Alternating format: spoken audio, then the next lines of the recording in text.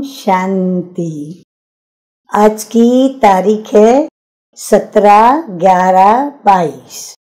और आज की ज्ञान मुरली का शीर्षक है, मीठे मीठे बाप दादा की हम बच्चों ने कई जन्मों से लेकर के भक्ति की। अब जब भक्ति की तो भक्ति का फल भी हमें अवश्य चाहिए। अगर नहीं भी चाहिए तो भगवान हमें फल उसका अवश्य ही देते हैं।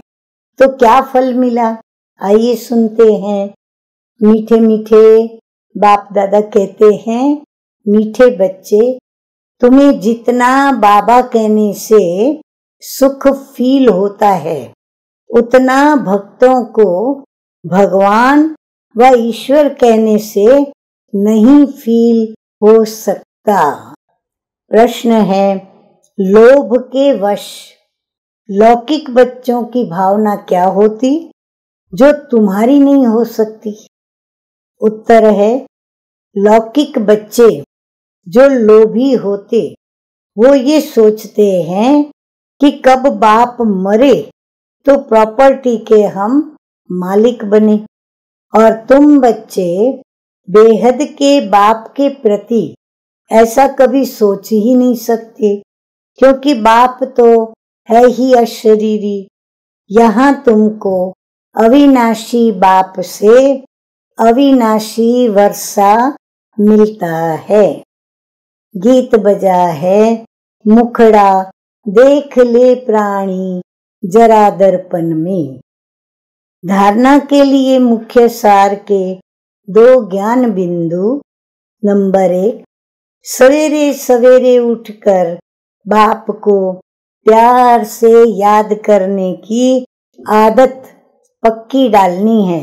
कम से कम तीन चार बजे ज़रूर उठना है।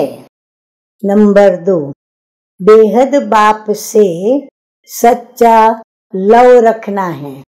श्रीमत पर चल पूरा वर्षा लेना है।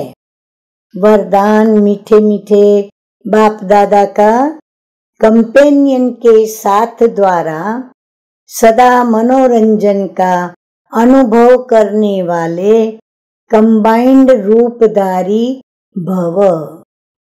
कंपेनियन बाबा कहते हैं कि जब भी अकेलेपन का अनुभव हो तो उस समय बिंदु रूप को याद नहीं करो। वो मुश्किल होगा। उससे तुम बोर हो जाएँगे। उस समय अपने रमणीक अनुभवों की कहानी उसको स्मृति में लाओ। अपने स्वमान की, प्राप्तियों की लिस्ट सामने लाओ। सिर्फ़ दिमाग से याद नहीं करो, लेकिन दिल से कंपेनियन के साथ कंबाइंड बन संबंधों के स्नेह का रस अनुभव करो। यही मन मना भव है। और ये मन मना भव होना ही मनोरंजन है। स्लोगन है, बाप की श्रीमत प्रमाण, जी हाजिर करते रहो तो सर्व शक्तियों का अधिकार मिल जाएगा। अच्छा मीठे मीठे सिकिल दे बच्चों प्रति मात पिता, बाप दादा का याद प्यार और गुड मॉर्निंग। रूहानी बाप की रूहानी बच्चों को नमस्ते। हम रूहानी बच्चों की रूहानी बाप दादा को याद प्यार गुड मॉर्निंग और नमस्ते नमस्ते। ओम शांति।